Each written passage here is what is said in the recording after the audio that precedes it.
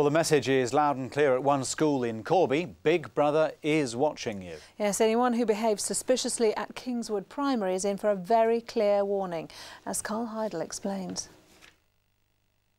Caught on camera, but this is CCTV with a difference. This is Big Brother CCTV. Attention, you with the black jacket. and baseball cap.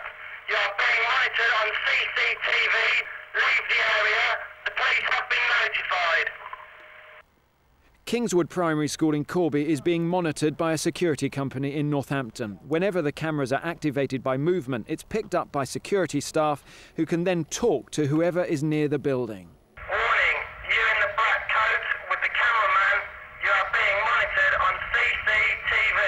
A monitored CCTV system giving you a verbal warning in real time. Anybody seen prowling around here knows that they're actually being watched as they try to break in.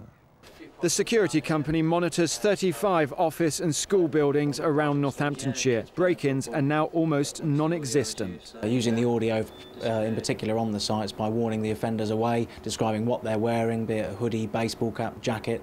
Literally, it gets a response straight away. They know it's live, they know it's not a recorded message, and it gets results. The new system has made a massive difference to Kingswood Primary. Last year, they were burgled seven times in six months. Since the cameras have been installed, we have had no incidents of burglary at all. Absolutely nothing. So it's been you know, absolutely amazing. Uh, it made your life a, a lot simpler, I'd imagine. It makes it much more relaxed on a Monday morning, not worrying about what we're going to come in and find. So it's definitely worth it for the peace of mind as much as everything else. Northamptonshire police are worried by the number of break ins at schools, up from 289 in 2004 to 347 so far this year.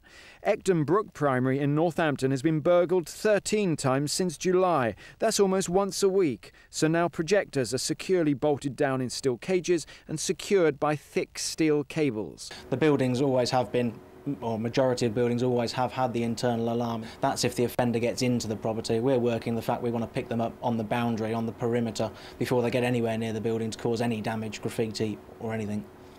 As more and more schools become the target of thieves, it's likely that our schools will protect themselves by becoming increasingly more like fortresses. Carl Heidel, Anglia News.